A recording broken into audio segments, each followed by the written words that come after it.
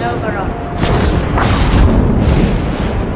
Ill met by moonlight, proud Titania. What, jealous Oberon?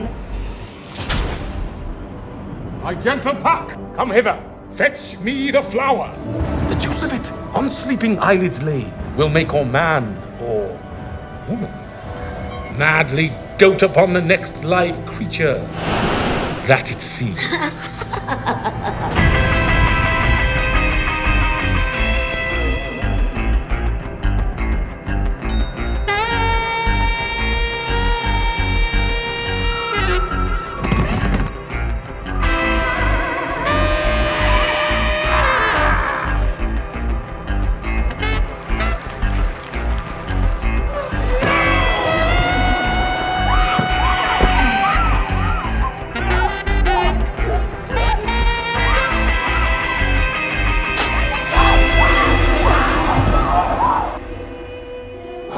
bank where the wild thyme blows.